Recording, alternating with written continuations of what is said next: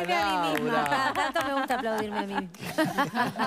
Muy bien. ¿Cómo ¿Cómo, andás? Laura? ¿Todo bien? Bien, me hacen madrugar, yo soy de la noche. Cuesta, cuesta mucho. Cuesta, todavía estoy ahí, así que las palabras las intento modular. Pero bien, muy contenta, gracias por invitarnos. Bueno, otra invitarnos. obra. Otra obra, pero Otra aparte- obra. Vos sabés que estaba acordándome que el año pasado Sí, vine, hace un año, sí. promocionando otro. Bueno, pero ahora estamos con, con una obra que se llama Éter Retornable, una obra escrita y dirigida por Angie Oña.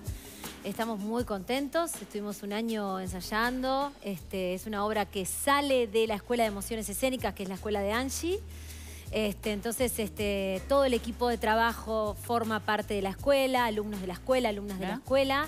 Entonces es un proceso creativo que, Claro. que ha- hemos acompañado todos Claro. desde la escuela y, y bueno, y es como nuestro ahí.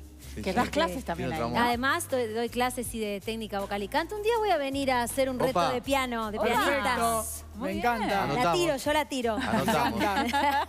Che, y hay que rellenar la vida con la porquería Hay que, que, rellenar sea. la vida ¿Cómo con es la porquería eso? que sea. Me encantó. ¿Cómo es eso? Qué tremenda Mirá, frase, ¿no? Sí, impresionante, imponente. El texto es maravilloso. Es una obra que Ansi la escribió en el 2008.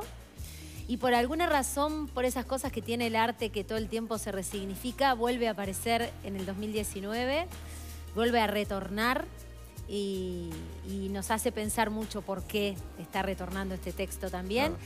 Es una obra que habla, es una pareja, no quiero spoilear, pero es una pareja que se, que, que se está, digamos, separando, es teatro del absurdo, es un, es un código complejo para los actores para actuarlo, pero a su vez este, es, es muy divertido de ver.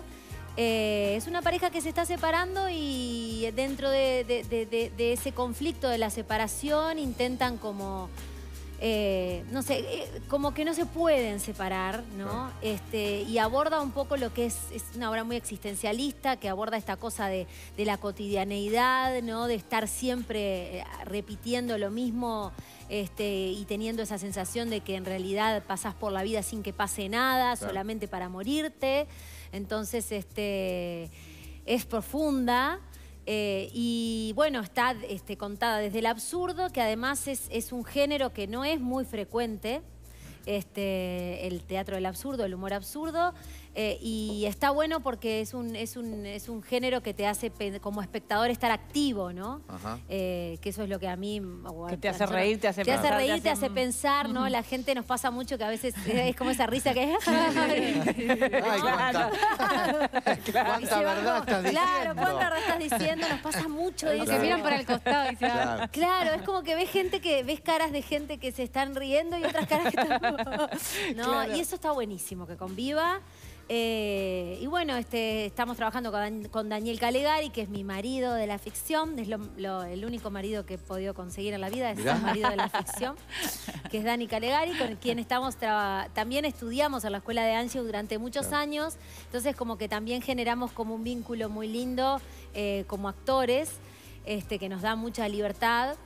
Y bueno, y con la dirección de Angie. ¿Cómo fue la este, dirección de Angie? y la dirección de Es muy Angie exigente, profunda, es muy como es profunda, Angie. claro. Eh, no, fue, fue hermoso porque aparte nosotros al haber estudiado con ella nuestra formación actoral, Ya tenías como su... teníamos ya como ahí va el código de ella, ¿no? Este, y después fue un trabajo muy interno, muy profundo, primero de, de entendimiento de la obra y del texto, y después de conectar con Daniel den- dentro de, de ese absurdo, e ir buscándole el código a la Claro. obra, este, con un montaje súper lindo de Freddy González, este, que es el escenógrafo, este, y se fue construyendo de forma colectiva. El y saliste un poco del monólogo, de estar sola, de... Bueno, ¿no? eso es, claro, ¿Cómo eso, fue? eso- eso es un desafío, esa cosa de hacer todo sola, este, que yo lo milité mucho y que milito la autogestión y todo. Eh, también para mí en lo personal como profesional fue complejo porque, porque sí, o sea, Claro. tenés que abrirte a un grupo que yo lo, o sea, lo estaba necesitando porque llega un momento Claro. que, que, ¿no? Ponerte al hombro tanto, tantos años, son 10 años que yo ya tengo de profesión como comediante, entonces... Agarra sus mañas Claro. también. Ay, de uno estar agarra sus mañas claro. de resistencia. entonces También es ese poder, con- Sí, sí, ¿no? sí. De- descansar un poco. Desca- de- Bueno, eso me costó, ¿viste? Porque al principio uno, como está, una está acostumbrada todo el tiempo a tomar ritmo. las decisiones, delegar y ver. Este, entonces es un trabajo muy, muy, muy lindo de, de construcción colectiva, que es realmente lo que a mí me interesa trabajar también de esa forma. Este, y bueno, y se armó un grupo precioso, está Camila Casete, está Oriana Larrea, o sea, son todas este, integrantes de la escuela.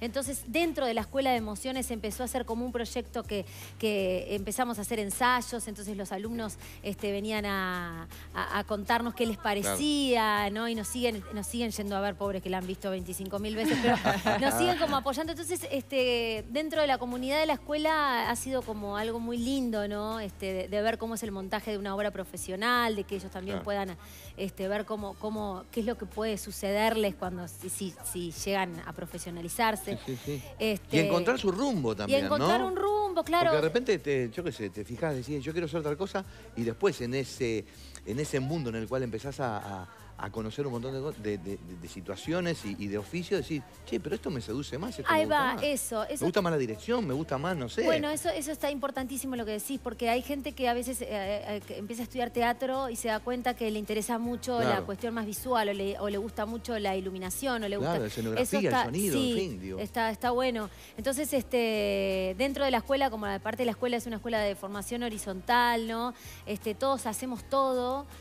y nos vamos formando en todo. Entonces salimos bien de igual teatro independiente, ¿no? Que salís.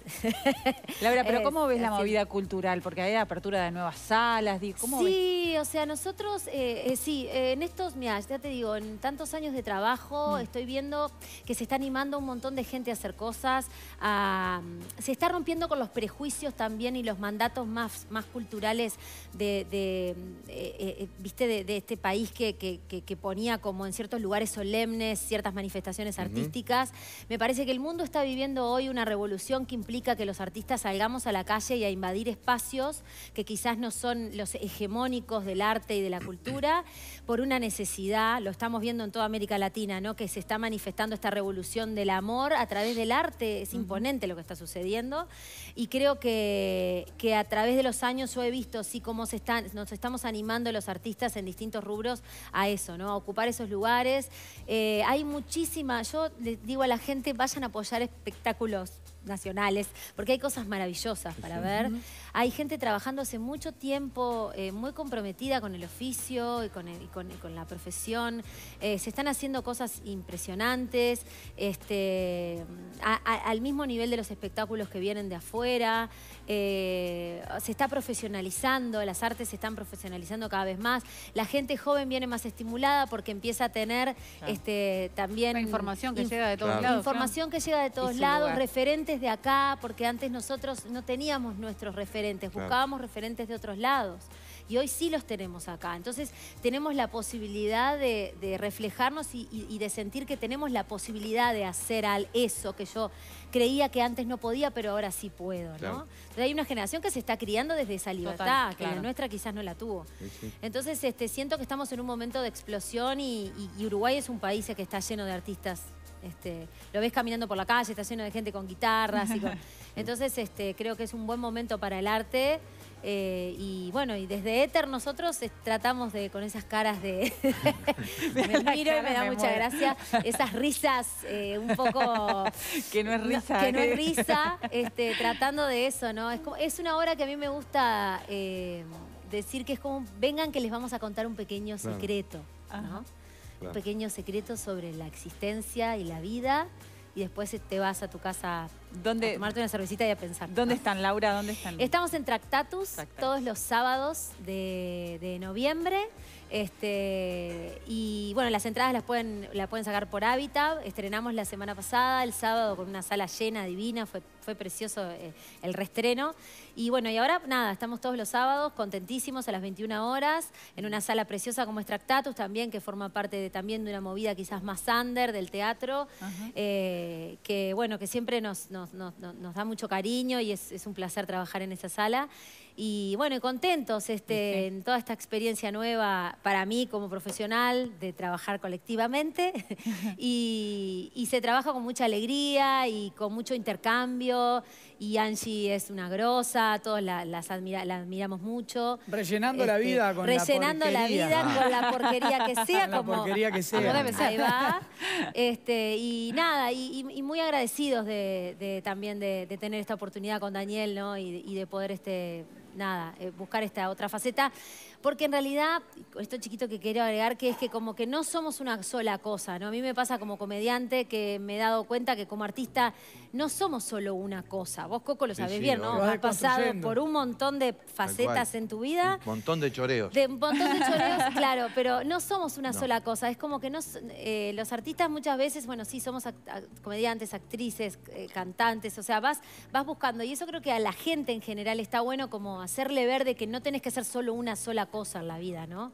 Que podés habitar un montón de lugares y que eso hace que no tengas que rellenar la vida con la porquería Claro. que sea. Laura, sos una gran lectora además. ¿Un libro para recomendar ahora? Un libro para recomendarles. Ay, eh, me agarrás. eh, ay, bueno, estoy leyendo. Bueno, esto va a ser revolucionario. Eh, un libro de Virgin Despentes que se llama Fóllame.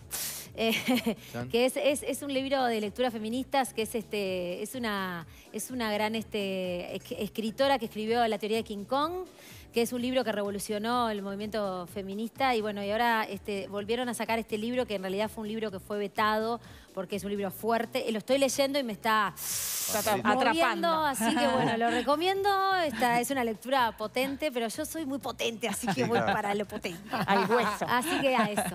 Laura, muchas gracias. invitamos a todos, los esperamos este retornable. Se van a reír, que es lo importante, ¿no? Porque Genial, bien. sin duda que sí. Gracias, gracias Laura. Gracias. Nos vamos a una pausa, enseguida volvemos. Vale, a